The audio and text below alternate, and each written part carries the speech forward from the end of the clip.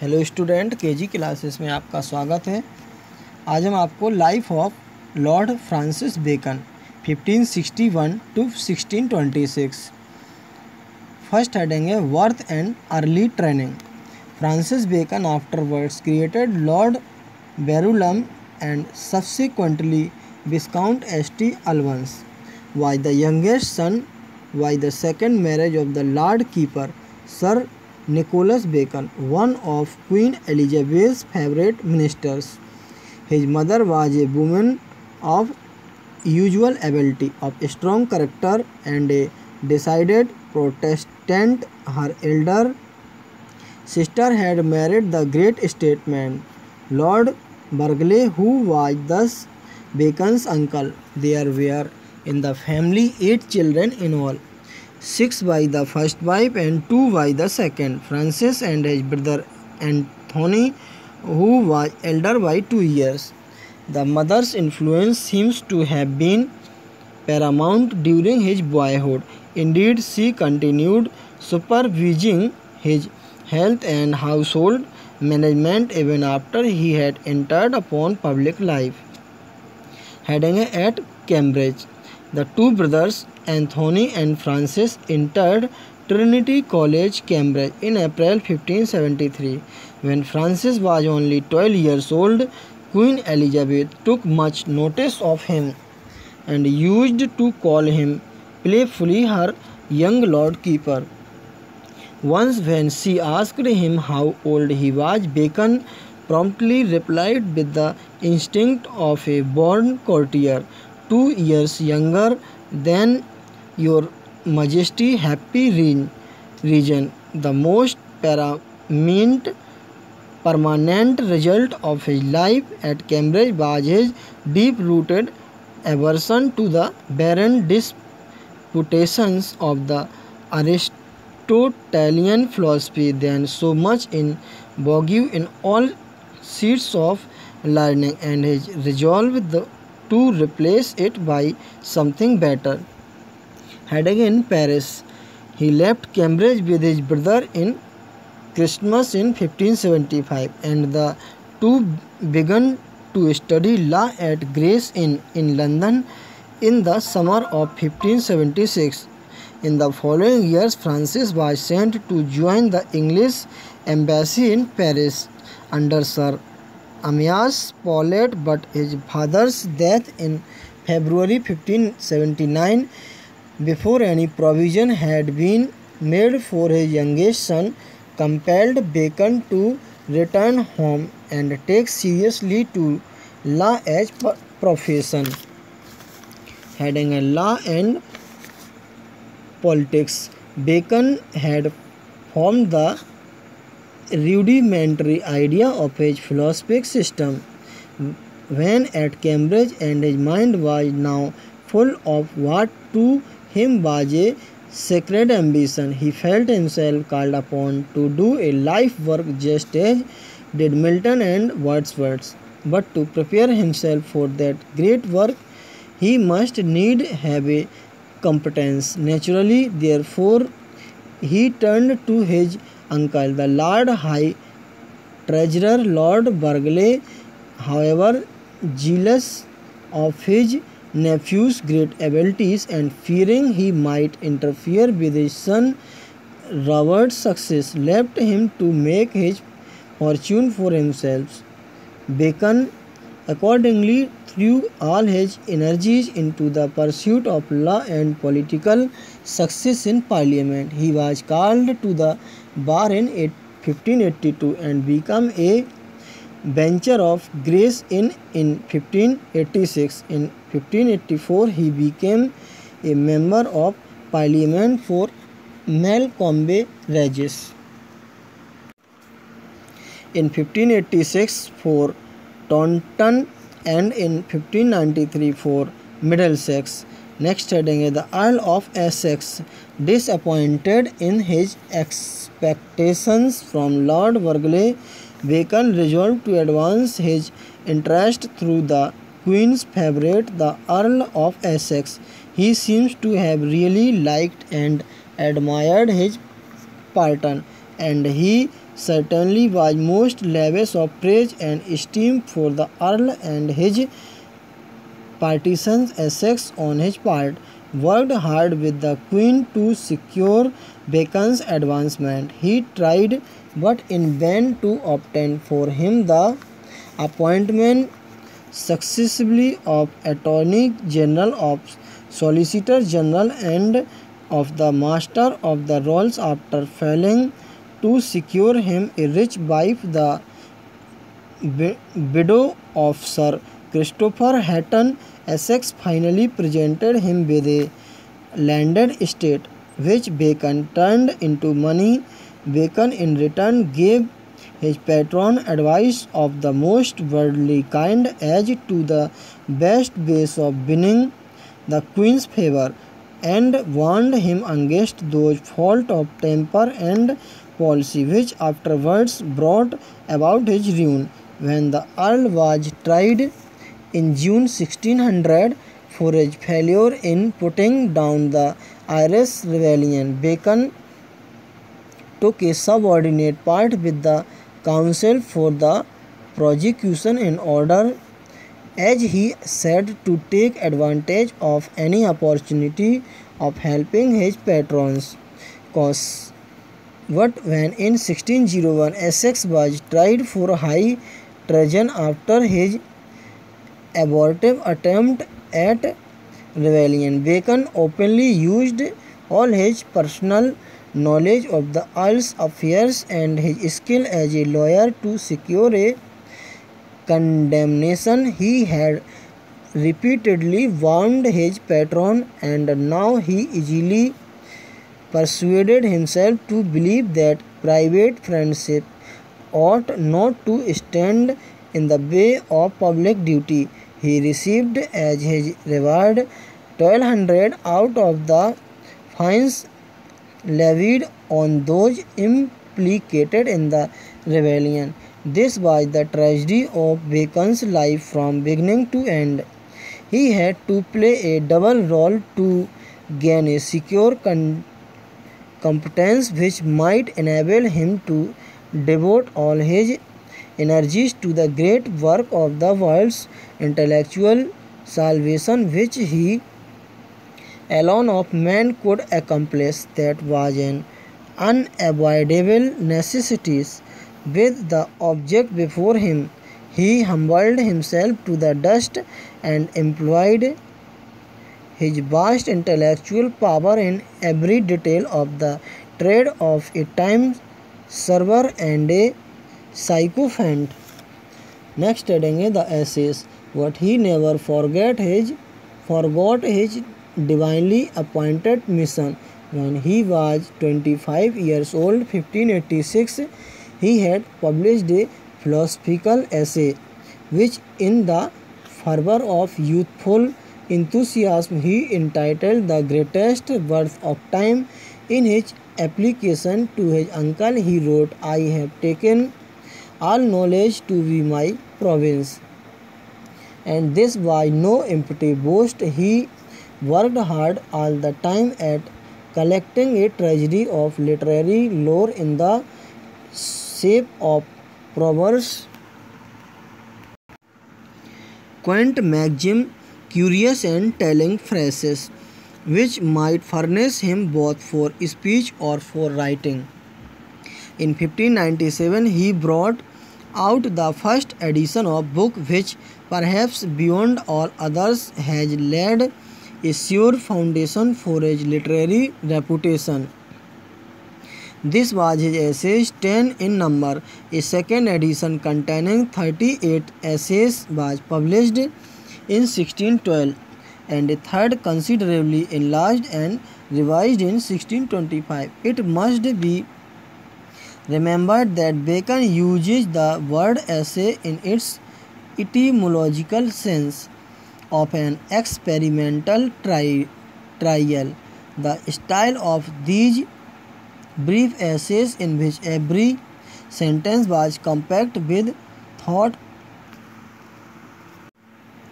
and polished in expression until it might run along through the world as a maxim, had all the strength of euphuism, E fuse without any of its weakness the sentences we are all such as needed ingenuity to write but this was the rare in ingenuity of wisdom each essay shrewdly discriminative contained a succession of wise thoughts exactly and beautifully expressed heading a Bacon under James first Bacon remained without promotion during the rest of Queen Elizabeth's reign, nor was he more successful during the early part of the reign of James I. He was, however, knighted and made a commissioner for the Union of Scotland and England. In spite of all the good work he did in the difficult questions arising out of the Union, Bacon's claims for permanent were continually passed over. Not till June 1607 did he receive the appointment of Solicitor General in 1626. He married an elderman's daughter with a fortune. He had no children, heading a, the advancement of learning.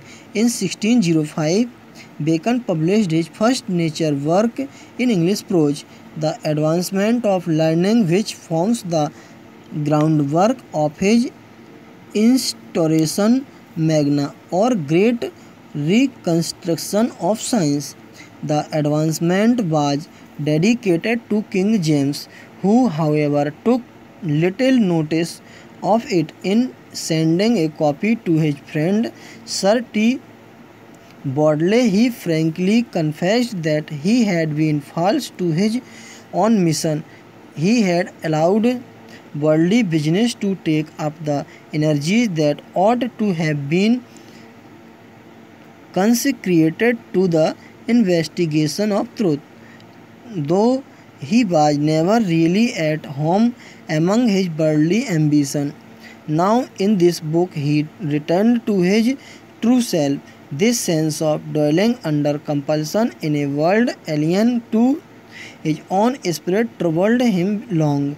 Bacon in this letter and rapidly repeatedly afterwards sums up in the Latin words of verse 5 of the 20th Psalm माल्टम इन पोला फ्रूट एमिना मी। My soul hath long dwelt among them that are in enemies unto peace heading his promotion in the year sixteen zero eight the clerkship of the Star Chamber at last became vacant and Bacon obtained the post that had been promised him twenty years earlier in 1613 Edward Coke was promoted to the chief justiceship and Bacon became attorney general when the king's favourite Villiers became the all powerful Duke of Buckingham Bacon paid court to him with the utmost servility and in a dispute which occurred between the common law courts and the chancery, he used his influence with the king and his subtlety as a liar to bring about the degradation and dismissal from office of his old rival Coke 1616. In the same year, Bacon became Privy Councillor and in March 1617, through Buckingham good office he was appointed Lord Keeper in 1618 he became Lord Chancellor and was raised to the peerage as Lord Verulam a little a title taken from Verulamium the Latin name of St Albans near which lay Bacon's estate of Gorhambury in 1621 He was created Viscount St. Albans in his appointment as Lord Chancellor. He worked with unexampled assiduity and does not appear to have seriously misused his judicial power, but he allowed himself to be influenced by Buckingham in cases that came before his court, and he fell in with the usual custom of receiving presents from suitors. Probably nothing would ever have been heard of this but for the fact that he had along along from the prosecution of Essex to the degradation of Coke made a number of bitter personal enemies heading his fall and death.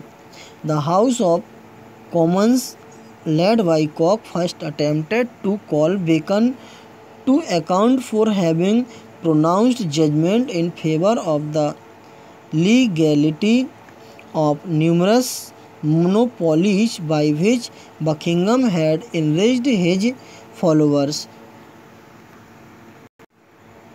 But the king interfered and refused to sanction the inquiry. The next accused him of having received bribes and set up a statement to the Lord for their judicial decision.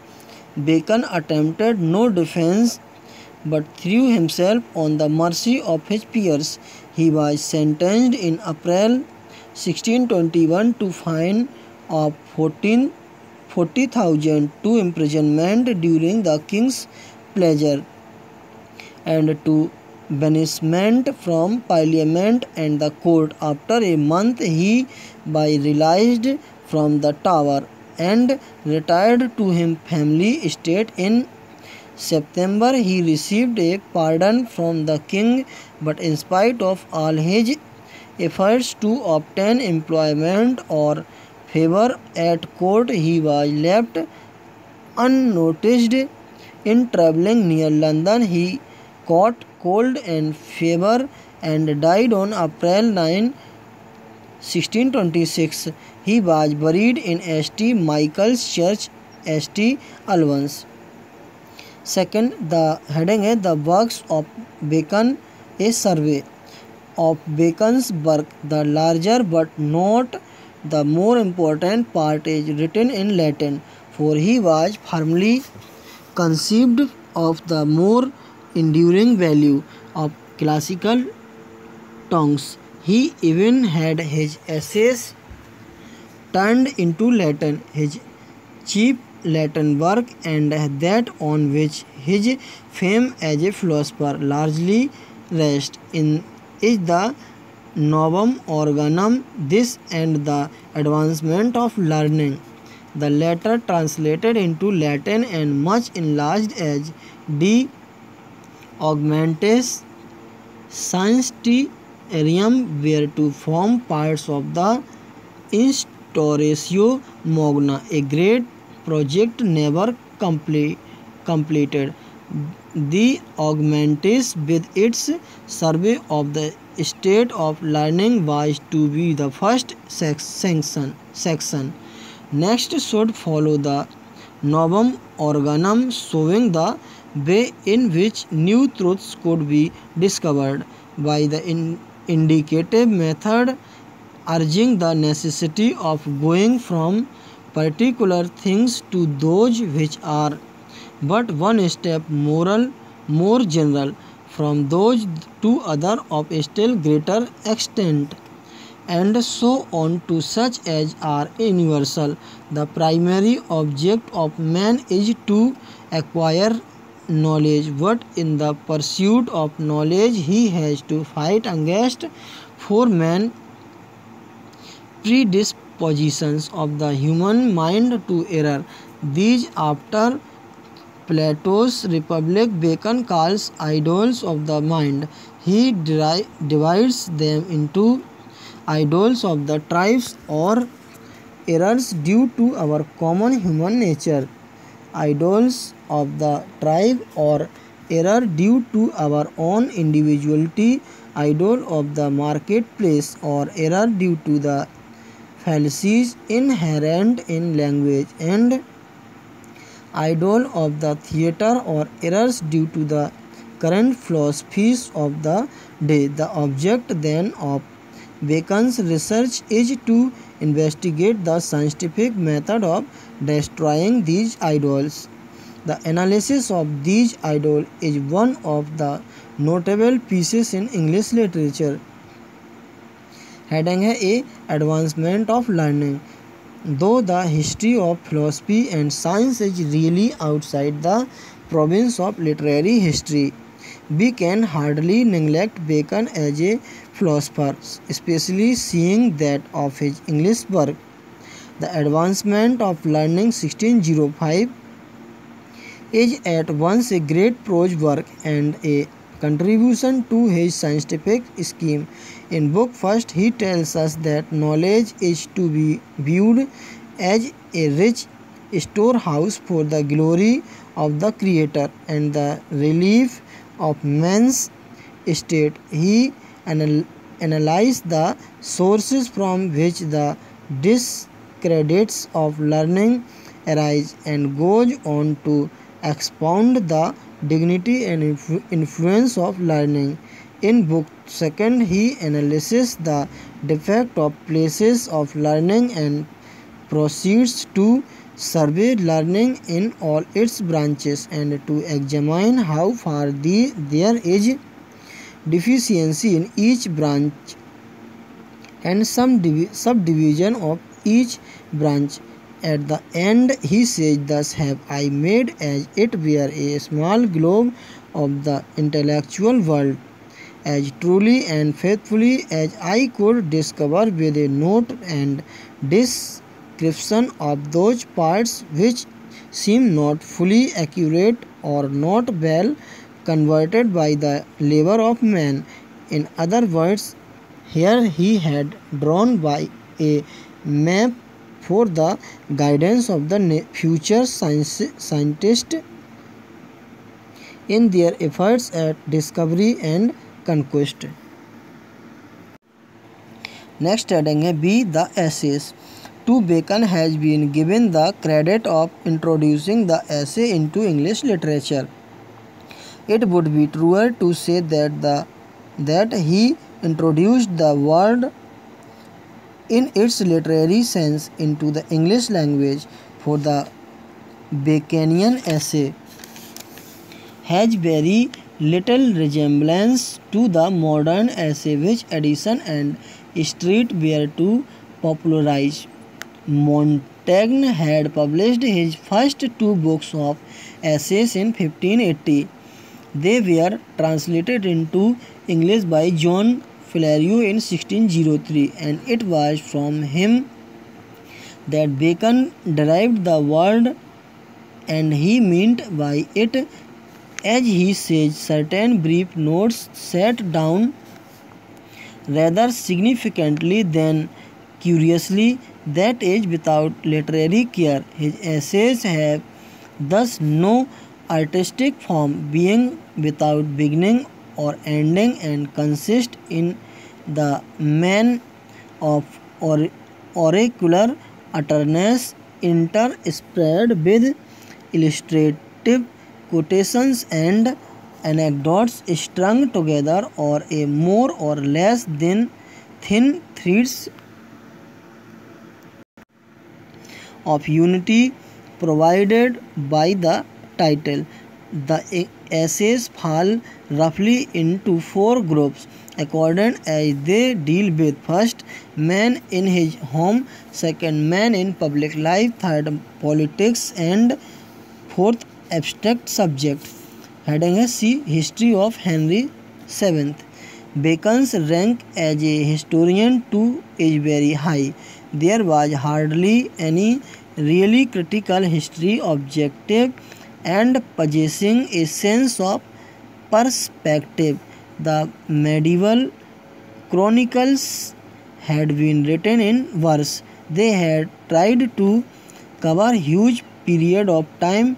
They had little sense of character. They and were unable to distinguish fact and fiction. Nor did the Renaissance at once produce any truer historical writing with the chief ex- exception of Sir Thomas More History of Richard III, written about 1513 and not printed in full until 1557.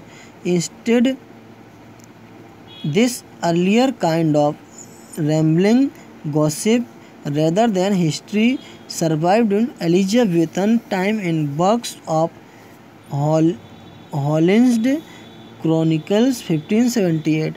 Bacon wrote history in a new style.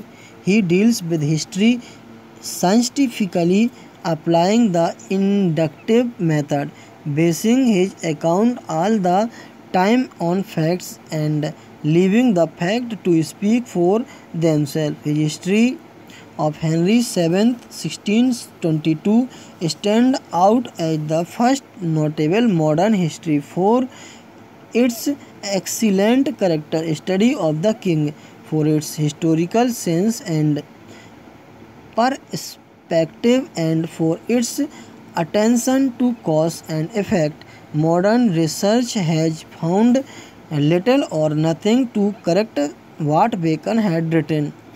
Next heading है last heading the new Atlantis.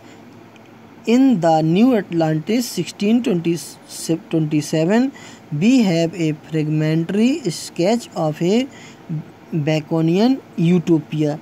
In a clear narrative style, he tells how by accident a ship's party came to a land in which there was a great college of science, which he begins to describe.